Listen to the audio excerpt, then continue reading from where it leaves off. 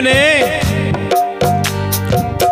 श्री राम को बताया कि हे रघुवीर, सुनिए, बाली जो है ना, महान बलवान है और अत्यंत रणधीर है। रणधीर का मतलब होता है रण क्षेत्र को, युद्ध के क्षेत्र को जीत लेने वाला। युद्ध को युद्ध को जीत लेने वाला। और फिर सुग्रीव श्री राम को कहा लेके गया? जहाँ पर वो सात ताल के वृक्ष खड़े हुए हैं। और दुंदुबी राक्षस की हड्डियाँ पड़ी हुई हैं। तो सुग्रीव कहता है, जो कोई भी इन सात ताल के पेड़ों को एक ही बाण से काट देगा, समझो वो बाली का वध कर लेगा। श्री रघुनाथ जी देखते हैं और उन्हें बिना ही परिश्रम के, आसानी से सात के साथ पेड़ को एक ही वाण से, एक ही तीर से काट गिराते हैं।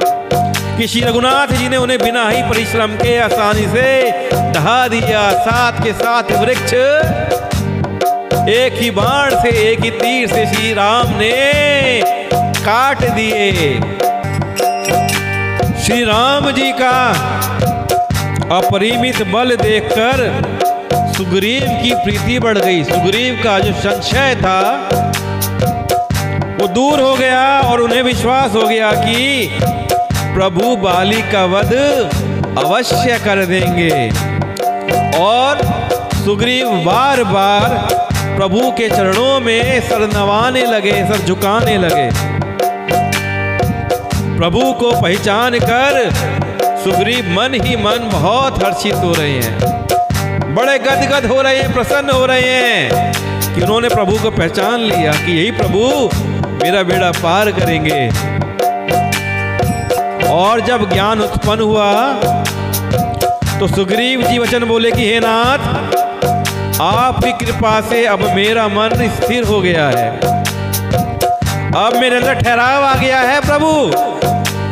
सुख संपत्ति, परिवार और बड़ाई, बड़प्पन, सबको त्याग कर मैं आपकी सेवा करूँगा। प्रभु, मैं आपकी शरण में हूँ, मैं आपकी सेवा करूँगा और उसके लिए मैं अपना सुख संपत्ति, परिवार और बड़प्पन सब त्याग दूँगा। मैं सब प्रकार से आपकी शरण में हूँ। सुग्रीव जी बताते हैं कि आपके चरणों की आराधना करने वाले संत क्या कहते हैं कि ये सब ये सब क्या? कि सुख संपत्ति परिवार और आत्म प्रशंसा ये सब राम भक्ति के विरोधी हैं। सुख संपत्ति परिवार, बड़ाई, प्रशंसा, अगर ये मन में घूमते रहेंगे तो कोई भी राम भक्ति नहीं पा पाएगा।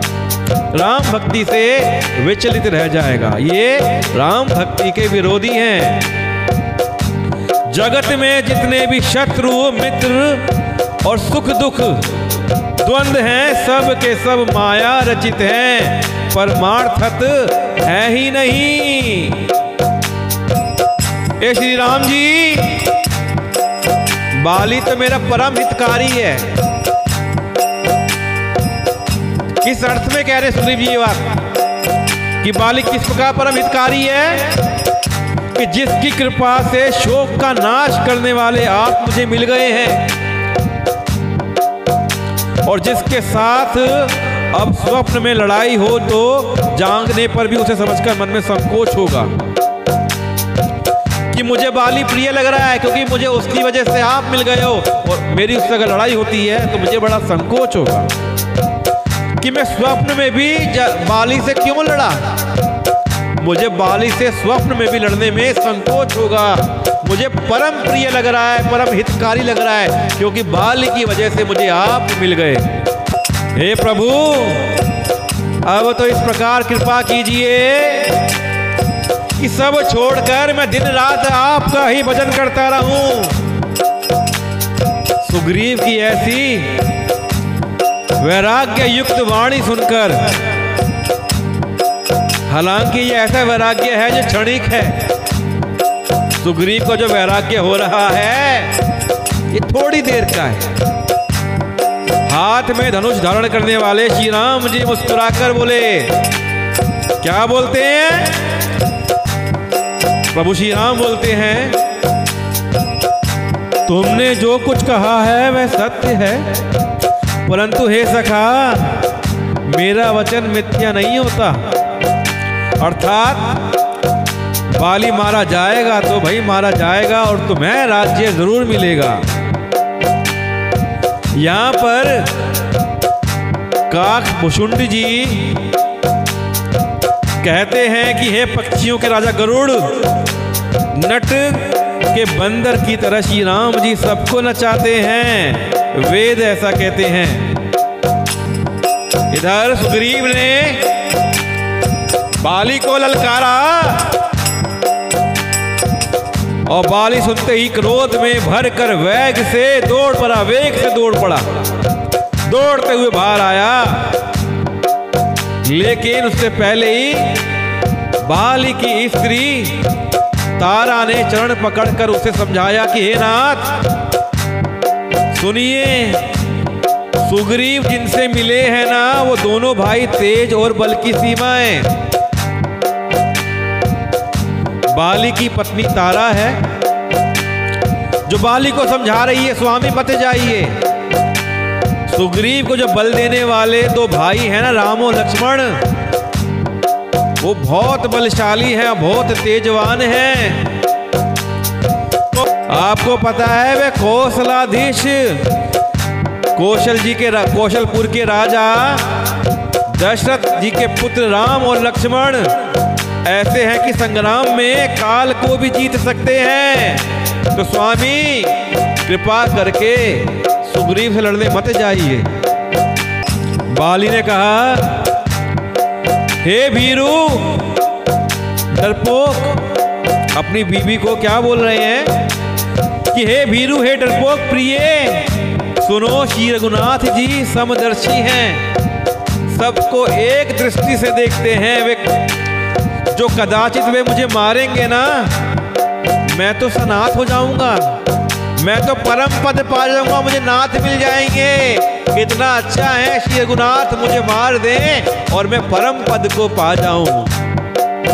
और ऐसा कहकर महान अभिमानी बाली सुग्रीव को तिनके के समान जान कर चल पड़ा।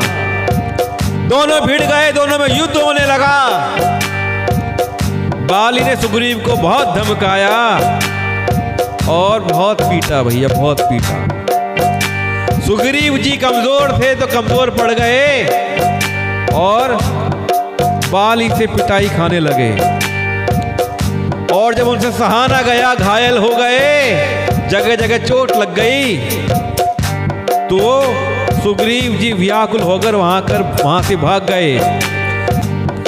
कि सुग्रीव की जब पिटाई होने लगी, और बहुत ज़ोर से जब सुग्रीव पर घूसा पड़ा तो घूसा पड़ने से सुग्रीव जी दौड़ पड़े वहाँ से। घूसे की चोट उनको वज्र के समान लगी। सुग्रीव ने आकर कहा, हे कृपालु रघुवीर, ये कैसा मित्र धर्म निभाया आपने? आपने मुझे उकसा कर लड़ने के लिए भेज दिया और आपने तीर ही नहीं चलाया। मेरी क्या अवस्था हो गई है? मैंने आपसे पहले ही कहा था कि बाली मेरा भाई नहीं है, काल है काल। तो श्री राम जी क्या कहते हैं? दोनों भाइयों का एक सा ही रूप है, एक से वस्त्र पहने हुए हैं। एक सी कद काटी है। और मैं तुम दोनों में से पहचान ही नहीं सका कौन बाली है और कौन सुग्रीव है। ऐसे में अगर मैं बाण चला देता और बाण तुमको लग जाता तो सुग्रीव तुम मारे जाते।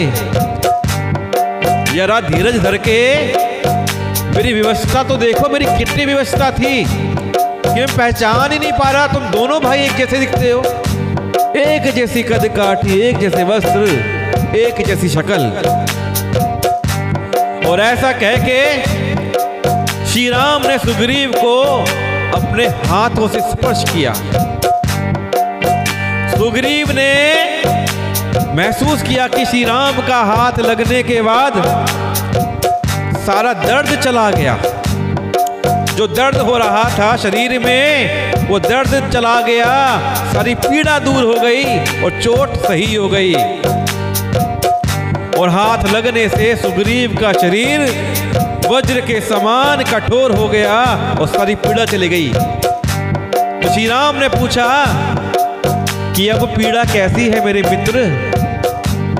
तो सुग्रीव ने कहा, प्रभु, जैसे ही आपने हाथ लगाया, मेरी सारी पीड़ा चली गई। मेरा सारा दर्द खत्म हो गया है। तब श्री राम ने क्या करा? सुग्रीव के गलों में फूलों की माला डाल दी, पहचान के लिए कि दोनों भाई एक जैसे दिखते हैं। तो सुग्रीव के गले में फूलों की माला डाल दी और उसे फिर दोबारा से उत्साहित किया, बल दिया और बल देकर सुग्रीव को लड़ने के लिए भेजा। दोनों में पुनः अनेक प्रकार से युद्ध हुआ बाली और सुग्रीव में। श्री रघुनाथ जी वृक्ष की आड़ से सब देख रहे थे। अब बताइए वृक्ष की आड़ से ही क्यों? सामने आकर क्यों नहीं मारा? क्योंकि बाली को वरदान था कि जो भी बाली के सामने लड़ने के लिए आता था, उसका आधी शक्ति, आधा बल बाली के पास चला जाता था। तो बाली की अपनी शक्ति और सामने वाले की शक्ति उसमें आ गई तो सामने वाला कमज़ोर पड़ गया और बाली और ताकतवर हो गया। तो इस वरदान के कारण बाली के अंदर बल बढ़ जाया करता था और इसी कारण श्री राम जी पेड़ के पीछे छिप कर देख रहे हैं। युद्ध कर रहा है सुग्रीव और सुग्रीव ने बहुत से छल बल किए, किंतु अंत में भय मानकर हृदय से हार गया। लड़ाई चल रही है। लेकिन दिल से, हृदय से सुग्रीव हार गया, हारने लगा। तो सुग्रीव ने बहुत से छलबल किए, लेकिन दिल से जब हारने लगा, इतने में ही प्रभु राम ने बाण चलाया और बाली के हृदय में बाण को तार दिया और बाली मारा गया।